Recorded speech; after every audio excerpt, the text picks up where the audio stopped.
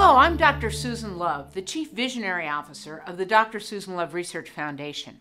Our mission is a future without breast cancer, and we do that through innovative research into the cause and prevention. The ImPatient Science program is really designed to help you understand what your choices are and what decisions you have to make. A lot of good things come out of today's cancer treatments, but the collateral damage it causes is not one of them. One common problem is the forgetfulness and fuzzy thinking, often called chemo brain. Researchers have only recently begun figuring out why people who have chemotherapy experience this brain fog. And in those studies, we've seen some unexpected results. It turns out chemobrain may not actually be caused by chemotherapy alone. In one study, researchers measured the brain activity of women before and after they started treatment. They found that for some patients, their memory problems were present even before they started therapy.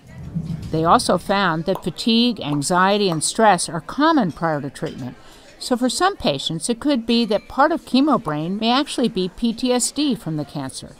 Another group of researchers looked at cytokines, molecules that interact with the immune system.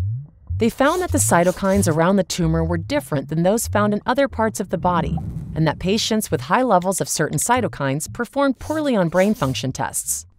Many women go through early menopause as a result of treatment, which also may cause problems with memory and sharpness. Hmm. So, it may be that for some women, chemobrain is a result of early menopause or an acceleration of age related memory loss.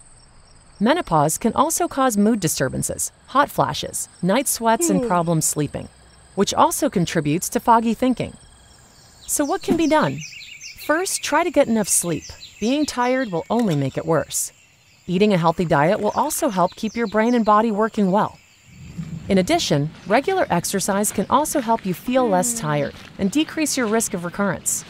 Lastly, try using a daily planner or a to do list to help you stay focused and on track. Most importantly, don't be afraid to talk about your experience with your work colleagues, family members, and friends. They can be a tremendous source of support.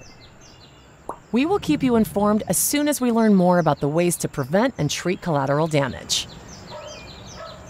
ImPatient Science is a video series for you, your family, and friends to better understand breast cancer and the choices that you have to make. If you want to find out more information or to support the foundation, go to drsusanloveresearch.org and help us end breast cancer once and for all.